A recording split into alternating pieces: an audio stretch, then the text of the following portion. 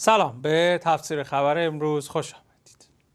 در هفته گذشته شاهد تجمعات اعتراضی در شهرهای مختلف ایران بودیم که نسبت به مسئله رود زاینده رود اعتراض خودشون رو ابراز داشتن. در شهر اصفهان نزدیک به سه هزار نفر در محل زاینده رود خوش شده کنار هم جمع شدند و نسبت به این موضوع اعتراض کردند.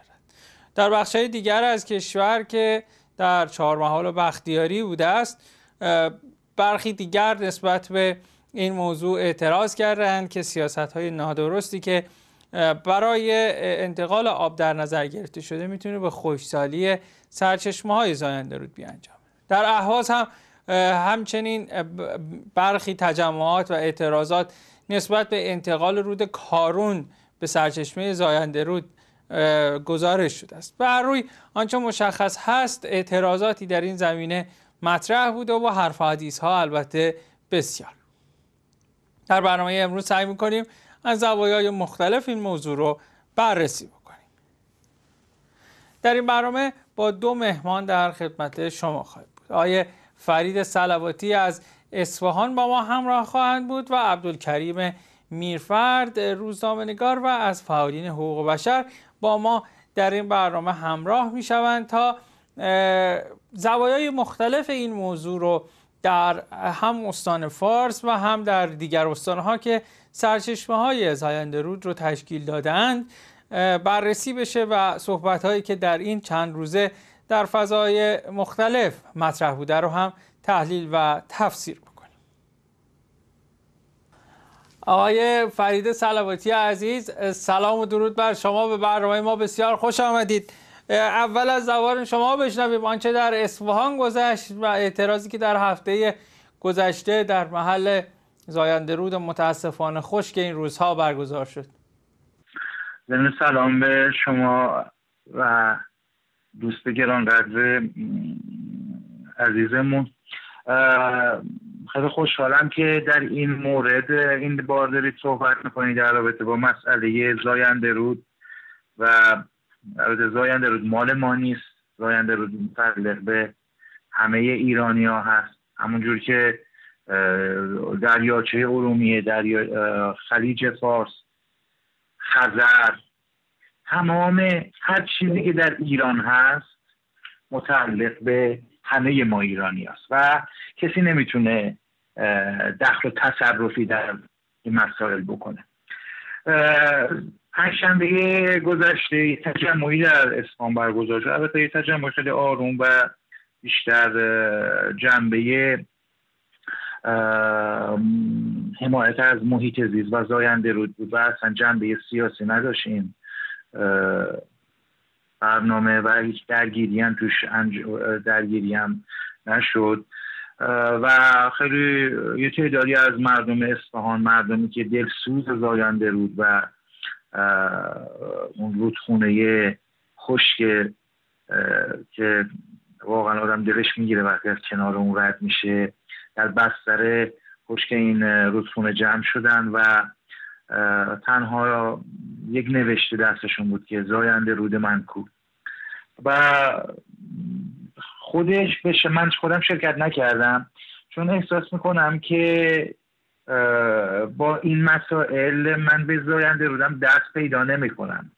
بلکه خیلی چیزهای دیگه ای دست به دست هم داره که به اینجا رسیده.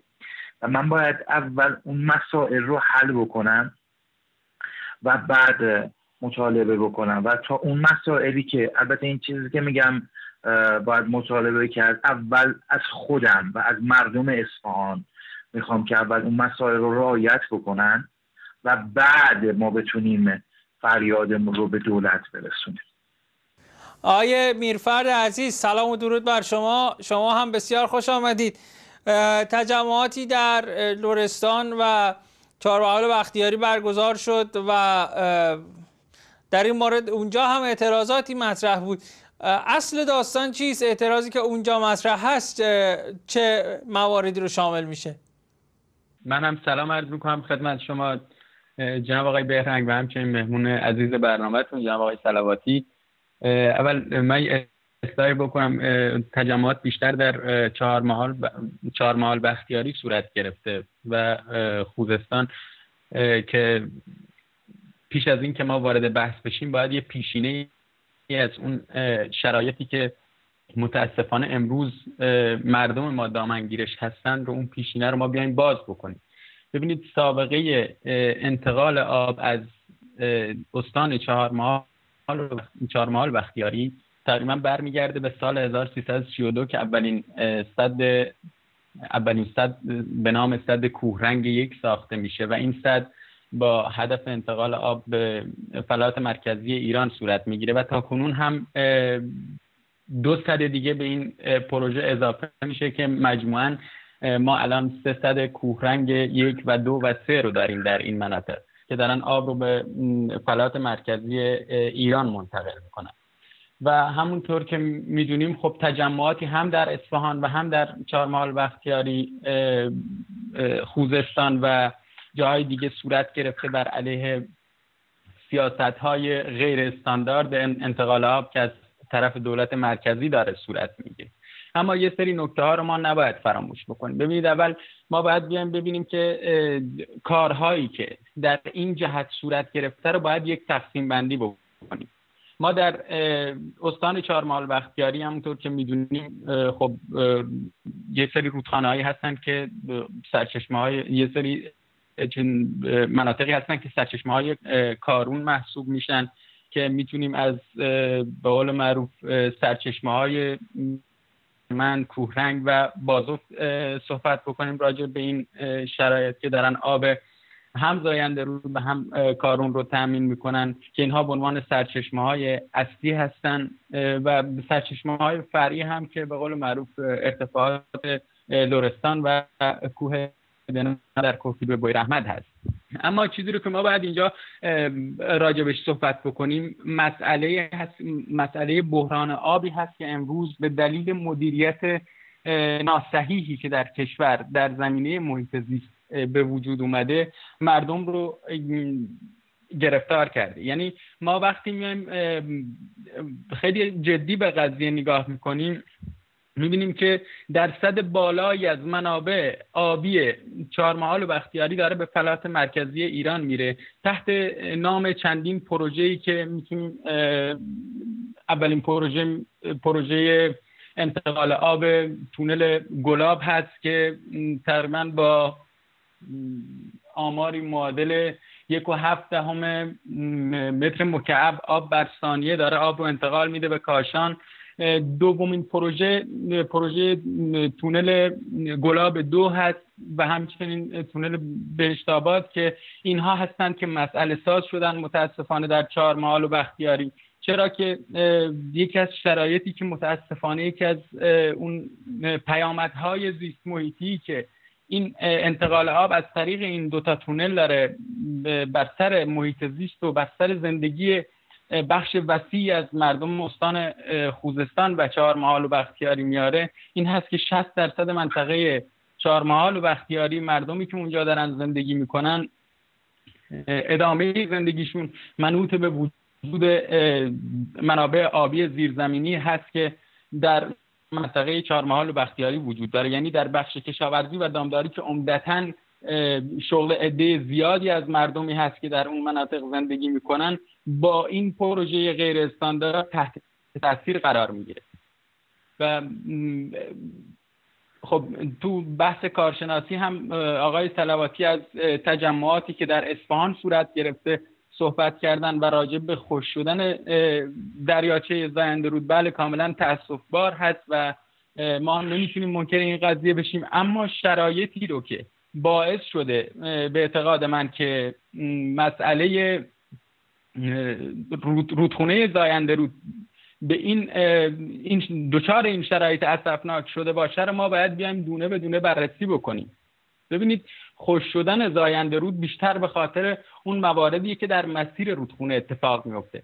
که می‌تونیم مثلا اولین موردی که اینجا می‌تونیم بهش اشاره بکنیم توسعه ناپایدار استان اصفهانه. بدون در نظر گرفتن اون توان اکولوژیکی و اون میزان بارندگی و اون کشاورزی غیر اصولی هست که از الگوهای کشت نامناسب کشت برنج در مسیر رودخونه توسعه نامتناسب و استقرار صنایعی مثل زوباهن پولاد مبارکه یا پالایشگاه پترو... پالایشگاه پتروشیمی مثلا پلیاکریل و نیروگاه های تولید برقی که در استان اصفهان وجود داره که خب اینها مصرف آب خیلی زیادی دارن. و با توجه به اینکه بحث توسعه و صنایع در استان اصفهان خصوصا در شهر اصفهان باعث شده که افراد بسیاری که جویای کار هستن به اصفهان مراجعه بکنن همونطور که می‌دونیم متاسفانه به دلیل سیاست های نادرست دولت مرکزی ما با یک پدیده کاملا به قول معروف بیران کننده در اون مناطق چهارمحال بختیاری چه در لرستان چه در خوزستان مواجه هستیم. به نام پدیده کارگر مهاجر چرا که اصلا فرصت شغلی وجود نداره. یعنی مردم برای گذران زندگی مجبور هستن که به این شهرهای بزرگ رجوع بکنن بعد خب این شرایط باعث شده که جمعیت اصفهان کاملا بیشتر بشه. شهرهای زیادی برای سکونت در اطراف اصفهان ساخته شده که نتیجه اون تقاضای آب رو به افزایشی هست که در استان اصفهان وجود داره. با افزایش نیاز به آب و ظرفیت قابل تحمل رودخونه ها احداث چنین تونلی به این میزان گنجایش برای انتقال آب رودخونه طبیعتا باعث میشه مسیر رودخونه چه در استان چهارمحال و بختیاری چه در مسیر استان اصفهان با چالش های جدی مواجه بشه. اما مسئله بعدی که ما نباید فراموش بکنیم این هست. آماری که از میزان صد درصد آبی که در اصفهان داره مصرف میشه ما می‌تونیم بر اساس آماری که خب وزارت نیرو و همچنین جاهای دیگه منتشر کردن ما می‌تونیم خیلی راحت این مسئله رو موشکافی بکنیم. ببینید پنج تنها از میزان صد درصد آبی که در اصفهان داره مصرف میشه تنها پنج درصد اون یعنی 6 میلیارد متر مکعب اون در بخش آشامیدنی و شرب داره مصرف میشه. و یعنی اینکه 95 درصد آب مصرفی اصفهان مربوط به بخش کشاورزی و صنعته.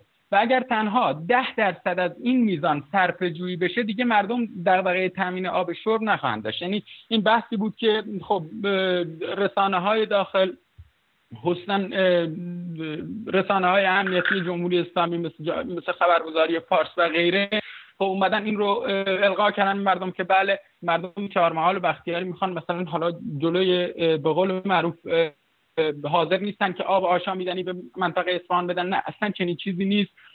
سالهای سال هست که ما همونطور که از کردم از طریق تونل کوهرنگ یک و دو و سه داره آب به فلات مرکزی ایران میره و هیچ کس هیچ اعتراض نکرده. یعنی و وقتی هم که میایم آمارها رو نگاه می‌کنیم می‌تونیم یک سری شرایط رو خیلی خیلی راحتتر و خیلی به قول معروف منطقی تر باهاش برخورد بکنیم. ببینید این آیه میرفر من ببخشید صحبت شما رو قطع می‌کنم اما برمیگردیم حتما ادامه میدیم این بحث رو و موانی که در نظر داشتید من بنا به محدودیت مجبورم بحث شما رو اینجا قطع بکنم عذرخواهی می‌کنم. آیه سلواتی بخش بزرگی از آنچه که مورد اعتراض قرار می‌گیره بر استفاده صنعتی زاینده رودی است که از چهارمحال بختیاری به سمت مرکز ایران حرکت می‌کنه. گفته میشه که این این بخش بزرگ مورد استفاده که در کارخونه های اطراف شهر اصفهان هستش یکی از بزرگترین دلایل خوشسالی زاینده رود در اصفهان محسوب میشه. چگونه است این بحثی که مطرح میشه؟ چقدر در خود اصفهان در مورد صحبت میشه و صحبت هایی که آقای میرفرد مطرح کردن رو شما چگونه ارزیابی می‌کنید؟ بله. ببینید کم و کیت آب زنده رود از هزاره قبل تا کنون جناب بهرنگ مورد توجه همه علمای محلی سیاهان خارجی بوده. یعنی در منابع مدونه به جای مونده از گذشته نگاه کنی هر جا صحبت از ایران و اسپان به میان اومده درباره نظم و نصف آب زاینده رود همیشه یه مطلبی نوشته شد. یعنی اگر این آب زاینده رود اگر اصلا اصفهان به زاینده رودش مشخص. ما همه این موارد رو قبلا داشتیم. من داشتم از مطالبشون رو گوش می‌کردم. اما ما اشکال مشکلمون از وقتی شروع شد که آقای احمدی نژاد در سال 84 در اولین سفر استانیشون اصلا سنگ بنای تصرف غیر قانونی آب رو اونجا پایریزی کردیش. و ایشون گفتن که یعنی دقیقا با این صحبتشون که هر چقدر و هر جور که نیازتون هست برای صنعت و کشاورزی از آب زاینده رود برداشت کنید. اولویت با شماست و بعد استانهای دیگه. و این مبنایی شد برای این اتفاقاتی که شما الان دارید در جامعه می‌بینید در شهر اصفهان دارید می‌بینید و در چهار محال بختیاری دارید اگر قرار باشه ما این مورد رو در همه مسائلمون به کار ببریم. ببینید الان ما داریم آب یاد استفاده می‌کنه شنیدم کاشانم می‌خواد استفاده اگر پس قرار جلوی همه چی گرفته بشه پس ما چه شکلی دیگر شهروندانمون بتونن استفاده بکنن از منابع؟ پس هر کسی دخل تصرف بکنه در اون مواردی که داره. این کاملا اشتباهی شما نگاه کنید اگر ما توی تاریخ نگاه بکنیم ببینید حق آبه متعلق به چه کسایی میشه؟ به کسایی میشه که این اطراف این رود یا هر جایی که هر جایی که قرار دارن باشن حق دارن که از اون فضا استفاده بکنن از اون آب استفاده بکنن. این بر نمیگرده به امروز و دیروز و پیروز. این مال 1800 سال پیشه یعنی زمان اردشیر بابکان که همچین چیزی این قانون نوشته شده که حقابه که اگر شما نگاه کنیم در که فکر کنم اثر ابن رسته باشه کتاب علاق و نفیسه که من داشتم تو تاریخ امروز صبح نگاه می‌کردم. دقیقا این تقسیم نامه 1800 سال پیش یعنی نه دیروز امروز نوشته شده که بعدها به مرور که در سال 1923 قمری در زمان شاه اسماعیل صفوی که حدود 500 سال پیشه این تقسیم حق با زاینده رو از پل کرده تا شاخ کنار شاخ کنار گاف خونی مشخص شده که اینم به نام شیخ بهایی که البته اسم شیخ بهایی شاید در این تومار نباشه. اما چون قدرتی داشت و صاحب قدرت بود به نام شیخ بهایی عنوان شد. همه هم اینو می‌دونه و چطور؟ ما از ابتدا این مورد رو نداشتیم. این درگیری ها رو ما نداشتیم. همین کارخونه از قبل بودن. کارخونه که تازه بود. مگه زوبا هم تازه راه افتاده؟ مگه زوبا مگه فولاد مبارک تازه راه افتاده که ما حالا بگیم آقا این آب داره اینجا استفاده میشه؟ اولا مسئله مشکل آب. جناب میفهم 15 درصدش من احتمال میدم مال بارندگی ها باشه. الان نگاه کنید لوله های الان فیلم شهر شما می‌تونید سرچ بکنید. دوستان می‌تونن برن یا اصلا برن یه سفری به شهر کن لوله های 6 تا 26 اینچ از از 100 تا پلکله نمیگم فقط دارن این افراد استفاده می‌کنن. حتی در استان اصفهان هم دارن بیرویه استفاده می‌کنن. داره این اتفاق میفته بعد شما نگاه کنید چه جنگلایی را افتاده. و این آب داره با این لوله ها به, به کوه ها انتقال داده شده و دارن جنگل رو آبیاری می‌کنن. این چیزی که هستش که. یعنی چطور؟ فقط هم تنها با گفتار آقای احمدی نژاد این موارد پیش اومد. یکی از موردهایی که متاسفانه ما بحران آب هم همیشه هست. یعنی بحران آب مال حالا که نیست. ما الان واقعا داخل خطر بحران هستیم. با بحران مواجه الان شما نگاه کنید همین الان در درون بحران وجود داریم نه اینکه بحران به وجود بیاد. مصرف آب ما بیشتر از توان طبیعی ماست درسته. الان با بیلان های منفی سرسام آوری هم که در منابع آبای زیرزمینی روبروییم که به نظر من کمتر کشوری در جهان با این آمار ارقام مواجه قطعا اگر فکر سریع نکنیم یعنی به نظر من ما تا دوازده سیزده سال دیگه عین کشور سودان میشیم. یعنی ببینید اگر من فقط به فکر خودم باشم متاسفانه ما مردم ایران یک خصلت خیلی بدی داریم که میگیم فعل من فقط وضعیتم خوب باشه. من فعلا باید به همه چی دست پیدا کنم. خب فردا همین اتفاق برای دیگران رو بگه بیفته که چیزی دیگه به من نمی‌رسه. همه اینا دست به دست هم که من یه کشور درستی رو بتونم بسازم. الان درگیری هایی که ما داریم نگاه می‌کنیم همین موردهایی که جناب آقای میرسر بیان می‌کردن همش درست. اما من می‌خوام الان عنوان کردن در اصفهان برنجکار. بابا الان سه هزار هکتاره در صورت که شما بیاین بریم ببینید در خوزستان چند در صورت که خوزستانی که خشک است. خوزستانی که گرم هست. ببینید چند هکتار دارن برنج کاشت میشه. و هیچ هم جلوی مسئله رو نمی‌گیره. ببینید اگر ما بخوایم واقع بینانه یه وقت ما همینجوری می‌خوایم ارق فقط محلی رو مد نظر قرار بدیم. من اصلا نمی‌خوام اینجا بگم اصفهان من اصفهان من. اگر که زاینده رو من همون اول صحبتم رو با این عنوان شروع کردم که زاینده رو متعلق به هم است. کوهرنج متعلق به هم است. زیبایی های اطراف اسمان متعلق به هم است.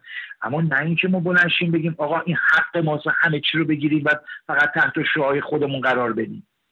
آقای میرفرد در برخی از رسانه هایی که وابسته به نهادهای امنیتی و نیروهای اقتدارگرا هستند تلاش داره میشه که این موضوع رو تبدیل به اختلاف بین استانها بکنن و تبدیلش بکنن به اینکه این استان می‌خواهد این کار رو بکند آن یکی استان اجازه نمی‌دهد و بحثایی از این دست. تحلیل و تفسیر شما رو در این زمینه بشنویم. ببینید همونطوری که شما عرض کردید. اول من در ابتدای صحبتم هم عرض کردم خدمت شما و آقای سلواتی و مسئله بود که از سال 1332 داره آب از طریق منابع آبی که در چهار محال بختیاری وجود داره داره به سمت فلات مرکزی ایران از طریق تونل کوهرنگ یک و دو و سه داره انتقال پیدا می‌کنه. و هیچ مشکلی هم مردم محلی اون منطقه با شرایطی که با شرایط انتقال آب شرب خب نداشتن. دلیلش هم این هست که خب اگر اینجا آبی اضافه هست تنها برای تامین آب شرب سایر نقاط کشور لازم باشه از جمله فلات مرکزی خب انتقالش منطقی و قانونیه و طبق عرف حقوقی و حتی بین المللی هم مانعی برای انتقال اون وجود نداره و به لحاظ فنی و کارشناسی هم قابل تعریفه. اما اون چه که به نظر می‌رسه؟ ببینید خب آقای سلواتی یک سری صحبت ها رو عنوان کردن که من رو تک تک اونها بحث دارم و صحبت دارم. اما اون اون چیزی رو که ما نباید تحت شعا یک سری موارد قرار بدیم این هست که همین تونل کوهرنگ یک تونل های سگانه کوهرنگ همین تونل ها سالیانه 900 میلیون متر مکعب آب رو دارن به به قول معروف دارن تولید می‌کنن که این 900 میلیون متر مکعب می‌تونه 20 سال هزینه 20 سال آب شرب حتی دورترین نقطه ایران رو هم تامین بکنه از جمله بیرجند و بجنور خب خب ایشون دارن میگن که ما نباید بیایم و مثلا بگیم که آقا اینجا مال من اونجا مال ما, بنده اصلا بحثم این چیزها نیست. بحث بحثی که الان اینجا وجود داره این هست که در چهار مال بختیاری که 204 روستا الان با تانکر دارن آب رسانی میشن و از حق آب آشامیدنی ایشون بحث حق آب رو کردن. خب مردمی که در اونجا دارن زندگی می‌کنن از حق آب آشامیدنیشون محرومن و این روستاها دارن با تانکر آب رسانی میشن. مسئله دومی که وجود داره میگن که شرایطی که الان مثلا کارخانه هایی که وجود داره و شرایطی که وجود داره خب از قدیم هم بودن. بله هیچ بحثی وجود نداره. اما مسئله خوشسالی رو ما نباید فراموش بکنیم. و مسئله دیگه ای که باید به اون توجه بکنیم این هست که آب مورد نیاز برای مصارف صنعتی باید از پساب اون فاضل هایی باشه که حالا به تصفیه در اختیار مواد صنعتی قرار بگیره. نه اینکه بیان آب معدنی و آب چشمه هایی که زندگی چند میلیون آدم به اون بند هست رو بیان تحت عنوان یه پروژه‌ای به نام مثلا تونل بهشت آباد بخوان منتقل بکنن یا که این این پدیده ما ما در نهایت باید در سالیان آینده بگیم کبیر چهار محال بختیاری کبیر خوزستان. ایشون در بحث کشاورزی یک سری مسائل رو عنوان کردن که خوزستان خب با توجه به منابعی داره ایشون اومدن گفتن بحث آب و هوای خوزستان رو پیش کشیدن. خب ببین تو زمینه آب و هوا با توجه به گرمایی که تو خوزستان وجود داره حتی رشد و نمو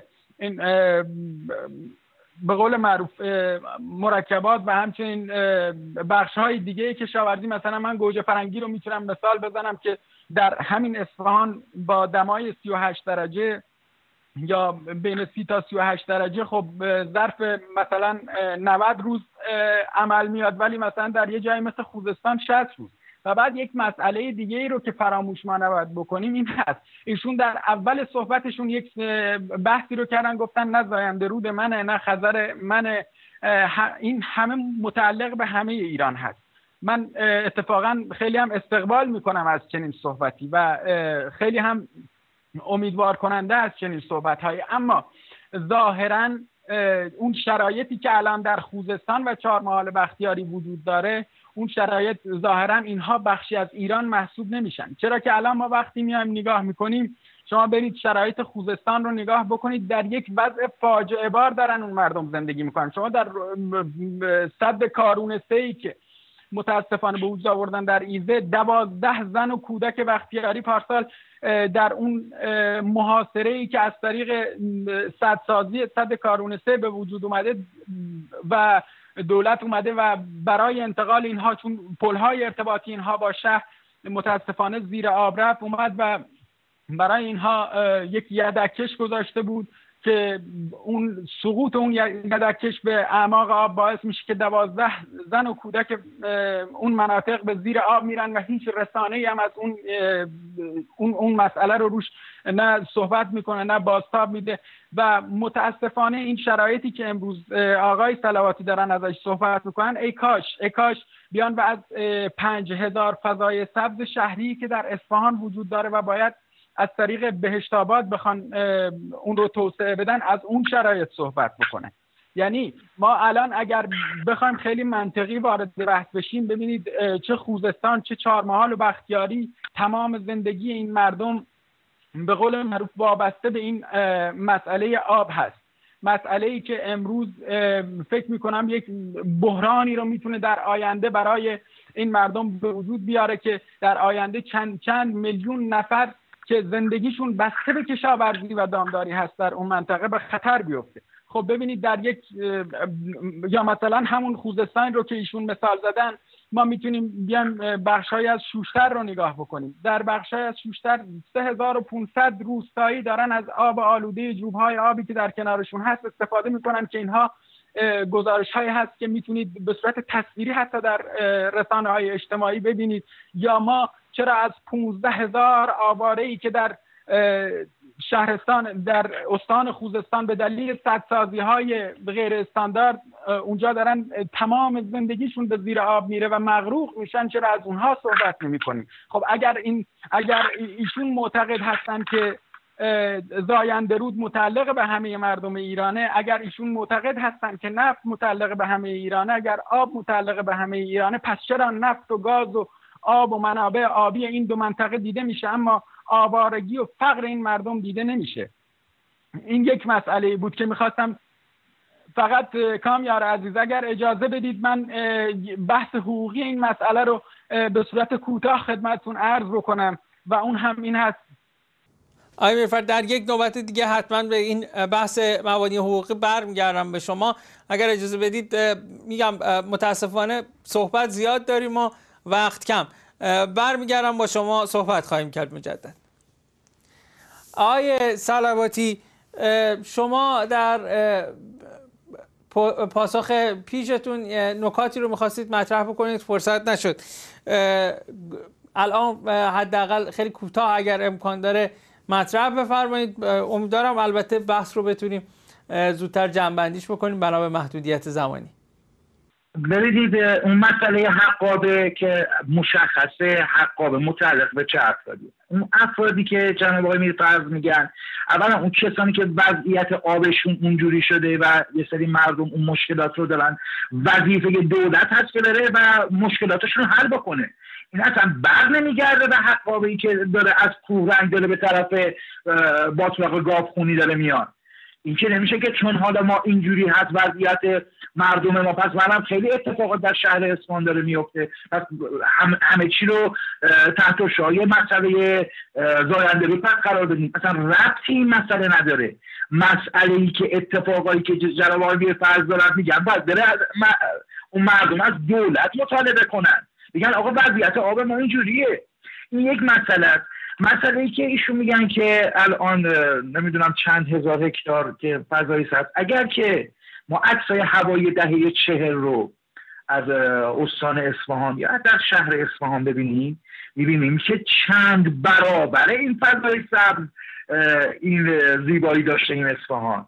نه الان الان خود وضعیت اصفهان الان شما نگاه کنید ستاد بحران خوشسالی در اصفهان اعلام شده و الان خدمات شهری اصفهان دارن با تانکرها آب میدن فضای سبز و این نشأت می‌گیره از مشکلات که الان برای خود شهر اصفهان به وجود میاد. الان اگر موردی ایشون دارن که ما داریم استفاده بیروی از آب می‌کنیم. بعد خیلی مشکلات دیگه هست که من چند نمونهش الان عنوان می‌کنم که یکی از موردهایی که ما خودمون در شهر اصفهان رعایت نمی‌کنیم و خودم با چند چند نفر از مردم اصفهان سر همین مسئله بحثم شد. همین آبهای کوله آقا درسته ما خیلی چیز مهمی نیست. اما شما نگاه کنید بعضی از کوچه ها رو من رد می‌شدم و آب عین یک رودخونه وسط کوچه هست خب مردم رعایت نمی‌کنن. خب آقا بلند شو برو این شناور کولر رو درست کن که این نباشه این وضعیت.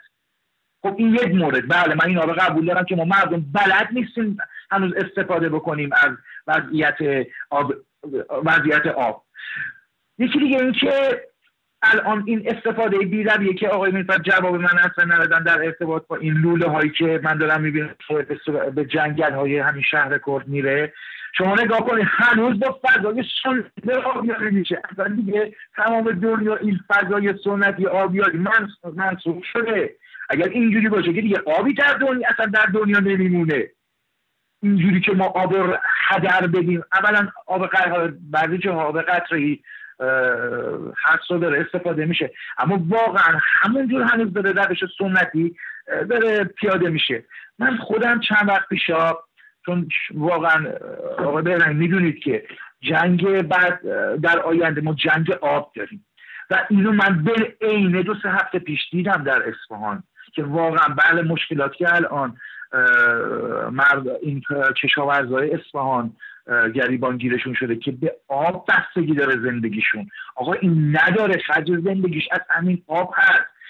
بعد اینو ما داریم تازه افتخارا می‌کنیم که پساب رو برمیداریم به اینا میدیم خیلی خوب استفاده کنیم. همین پساب استفاده کردن ضرراش صد برابر این خوشسالیه شما الان نگاه کنید اون هندونه هایی که دارن آبیاری می‌کنن سبزی هایی که دارن آبیاری با این آبا می‌کنن خربوزهایی که دارن آبیاری می‌کنن زن و بچه های ما دارن استفاده می‌کنن. این بیماری ها چیه پس برای گریبان گیرمون گرفته؟ این وضعیت کمهوشی این ام هزاران بیماری که در گریبان این مردم شهر اصفهان رو و, و دیگر مردم شهرهای مخ... اطراف اصفهان رو گرفته. خب همینه. آقا برن از پساب آخه مگه میشه همینجوری پس پساب که اون استفاده از پساب هم یک قلقی داره یک سیستمی داره؟ همینجوری که ما نمی‌تونیم هر آبی رو استفاده بکنیم و این بندازیم تو چرخه و همین مردمی رو استفاده بکنن. خب این یکی از مورد است که هیچ اهمیت نمیدن و همه دارن چششون رو بستن. متاسفانه روشن فکرهای ما. توده مردم افشای نمی‌دونم هنرمند روزنامه نگارا در مقایسه با سایر مناطق جهان. آقای بهرن نسبت به محیط زیست در ایران واقعا بیتوجه الان شما نگاه در دنیا یکی از بزرگترین جریان های روشن فکری جریان محیط زیستیه. شما نگاه بکنید نگاه کنید این رو نگاه کنید اما ما متاسفانه فقط داریم به دید فانتیزی به این مسئله نگاه می‌کنیم.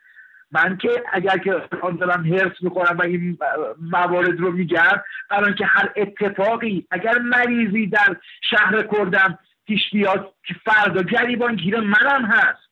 اگر اون مردم خوزستان اون اتفاق اون بازها یا مردم اهواز اون اتفاق براشون بیفته خب مگه همین بازها گیر مردم اصفهان هم نگرفت؟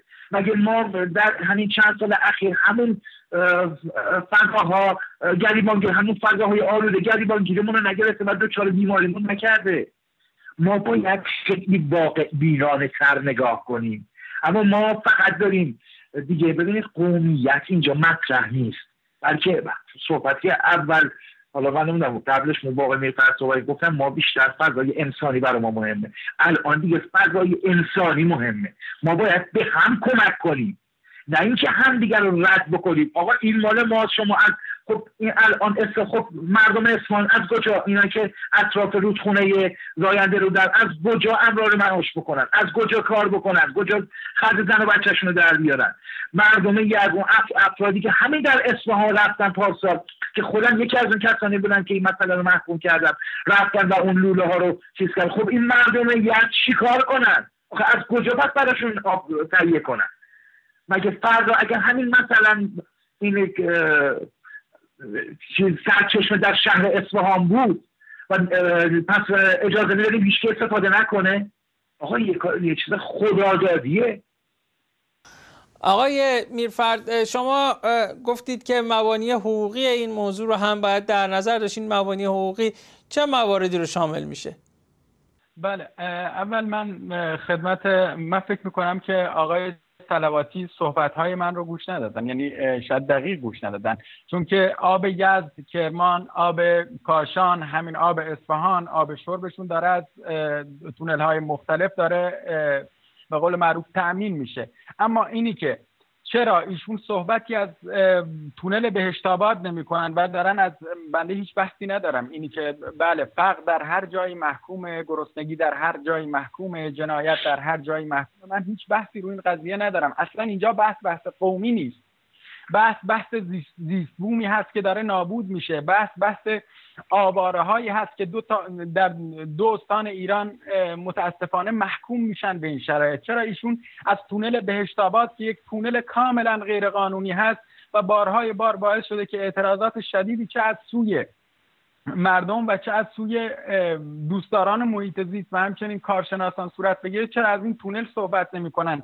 که تمام های آبی منطقه رو نابود می‌کنه و نتیجهش میشه چند میلیون آواره خوزستانی. اما راجع به شرایطی که الان تو اصفهان هست بله شرایط تاسفباری هست هیچ بحثی نیست اما خب وضع خوزستان هم دست کمی از اصفهان نداره. به نظر من ما باید خیلی منطقی تر راجع با این قضیه برخورد بکنیم. ببینید خوزستان جز اهواز جز یکی از آلودترین شهرهای دنیاست. خب ما باید همه اینها رو در نظر بگیریم وقتی می‌خوایم بحث بکنیم. از اون گذشته زمانی که ما می‌خوایم راجع به وضعیت وضعیت آب صحبت بکنیم. خب ایشون یه سری صحبت هایی رو از کردن. اما من هم از منظر حقوقی و بین المللی و هم از منظر قوانین داخلی این مسئله رو کاملا برای ایشون باز می‌کنم که امیدوارم که با این دلایل ایشون حداقل قانع بشن. ببینید سازمان بین المللی یونسکو برای طرح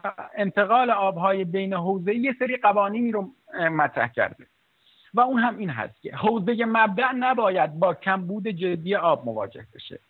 کیفیت زیست محیطی در حوزه, در حوزه های مبدع و مقصد مورد تهدید و تخریب قرار نگیره.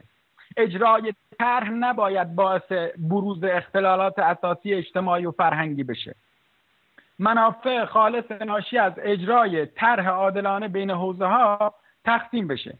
و اما مسئله بعدی که هست قوانین داخلی هست که ما می‌تونیم به اون رجوع بکنیم. حتی قانون مجازات ببخشید در بند پنج ماده 17 قانون برنامه چهارم توسعه تصریح شده که طرح انتقال آب بین حوزه‌ای باید از دیدگاه توسعه پایدار با رعایت حقوق زینفعان و برای تأمین نیازهای مختلف مصرف مشروط به توجیه اجتماعی اقتصادی زیست محیطی و منافع ملی مورد نظر قرار بگیره. و اما مسئله ای که آقای سلواتی هیچ وقت محکوم نکردن در طول این مصاحبه این هست که چرا ایشون مسئولین جمهوری اسلامی و مسئولین اصفهانی رو در چیدمان طرحهای توسعه سه دهه اخیر در اصفهان ایشون محکوم نمی‌کنن. اینجا بحث بحث مردم نیست بحث بحث انسان ها نیست. واقعا شرایط بنده شرایط اصفهان شرایطی است که تاسف تاسف بار هست و من این شرایطی که کسی بخواد گرسنگی بکشه کسی بخواد که حقوقش در یک جامعه نقض بشه اون شرایط کاملا محکوم هست. اما چیدمان طرحهای توسعه سه دهه اخیر در اصفهان رو هم ما باید بیایم محکوم بکنیم که توسط مسئولینش صورت گرفته.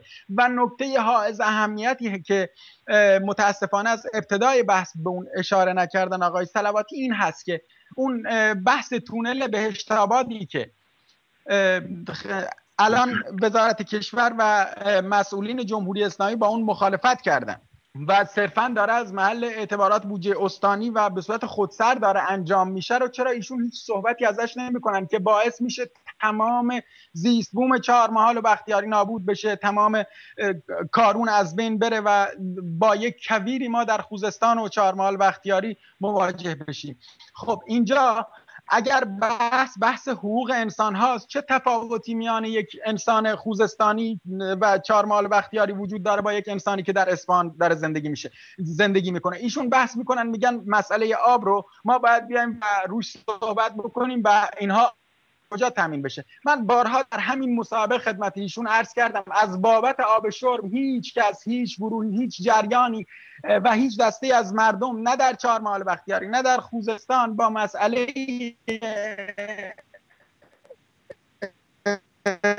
انتقال آب شرب هیچ داشتن نه مشکلی خواهند داشت. اما مسئله ای که وجود داره اینجا این هست که دیگه بحث از مصرف آب شرب نیست. بحث مصرف بحث انتقال آبی هم یه ظاهرا داره رو ما باید در نظر بگیریم وگرنه بله هیچ کس هیچ بحثی در این نداره که اون شرایطی که در اصفهان و خوزستان و تهران و بجنور وجود داره هیچ تفاوتی با دیگر جاهای دنیا نخواهد داشت. ممنونم. آقای سلواتی عزیز به عنوان پایان بخش برنامه اگر جنبندی بفرمایید در حد دو سه دقیقه خیلی ممنونتون میشم. اما این بحثی رو که آغاز کردیم مطمئنا در نوبت های بعد هم ادامه خواهیم داد. اگر جنبندی بفرمایید ممنون میشم. ببینید طرح انتقال آب بهشت آباد که نمای میفرد میگن. خب یه سری هم مخالفن یه سری هم موافقن. و اون کسانی که موافقن صد درصد اونایی که به نفعشونه و اون کسانی که مخالفن صد درصد به این چیزی هست که در همه طرحها وجود داره. یعنی این که اصلا وقتی به طرح فقط انتقال آب بهشت آباد.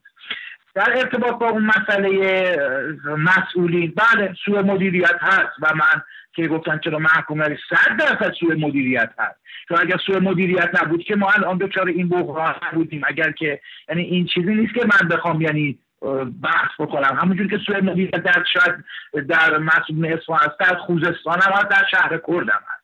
یعنی این چیزی نیست که برگرده فقط به ما. و اگر که مثلا این اتحاد و این مثلا شما نگاه کنید همین الان ما بین نمایندهای اسفا و نماینده چهار محال بختیاری خب مورد هست و بحث هست سر این مسئله. پس اینو نمیشه عنوان کرد که من محکوم نکنم. صد درصد این سوء مدیریت.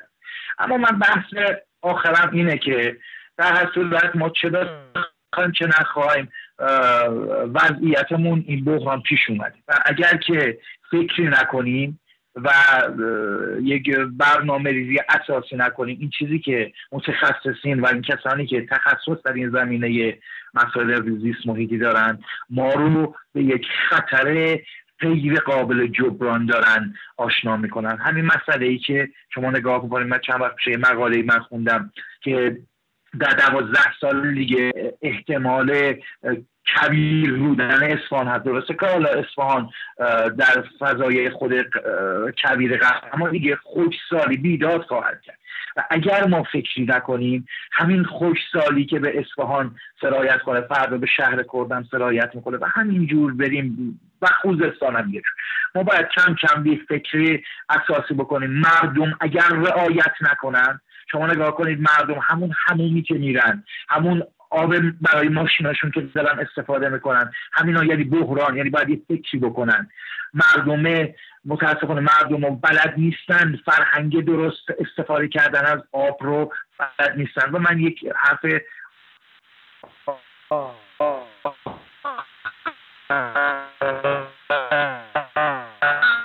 اینه که مسئولین باید این فکر رو صد درصد پیاده کنن که آب جدا بشه. و اگر جدا نشه همین اتفاقات بدتر هم خواهد شد.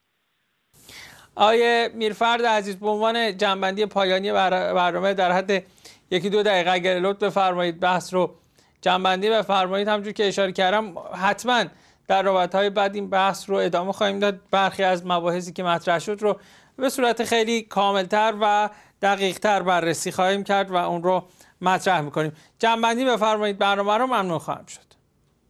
ببینید شرایطی که الان امروز این بحران آبی که در ایران ما دچارش هستیم هیچ چیزی نیست به جز اون عدم رعایت استانداردهایی که از سوی مسئولین جمهوری اسلامی یعنی هیچ کس در اینجا مقصر نیست. نه, نه مردم اصفهان در اینجا مقصر هستن نه مردم چهارمحال و بختیاری و این و اینها از اون همه پیامد اون سیاست های نادرست و غیر استانداردی هست که متاسفانه از سوی جمهوری اسلامی و از سوی مسئولین جمهوری اسلامی به مردم تحمیل شده و داره این, شرایط رو به سمت بحران پیش می‌بره و ما فکر می‌کنم همه ما وظیفه داریم که در قبال این بحران های زیست محیطی که کشور ما امروز دوچارش هست در قبال اینها ما بیایم و بنویسیم کمپین سازی بکنیم فعالیت بکنیم تا, تا دوچار همون صحبتی که آقای سلواتی کردن دوچار کشور دوچار فقر آبی که در سودان هست نشیم. و امیدوارم که با یک تصمیم گیری منطقی با یک به قول معروف شرایط کاملا انسانی و استاندارد ما بتونیم این شرایط رو به قول معروف ایجاد بکنیم و مباحث کارشناسی رو هم در طرحهای چه در طرحهای انتقال آب طرحهای منابع دیگر طبیعی که در ایران وجود داره اون شرایط رو هیچگاه فراموش نکنیم و بتونیم از اونها به قول معروف در راستای پیشبرد حفاظت از زیست بوم محیط زیستی که در ایران داریم در اون زندگی می‌کنیم از اونها استفاده بکنیم. من تشکر می‌کنم از شما آقای فرید سلواتی و آقای عبدالکریم میرفرد عزیز که همراه ما بودید در برنامه. بحث بسیار چالش برانگیزی است و حرف حدیث در مورد اون بسیار هست. امیدوارم البته در نوبت بعد که خیلی هم دور نخواهد بود این بحث رو با هر دوی شما عزیزان ادامه بدیم. البته امیدوارم تا اون موقع حداقل از طرف مسئولین چاره ای اندیشیده شده باشه و ما در مورد بحث های دیگری این موضوع رو ادامه بدیم.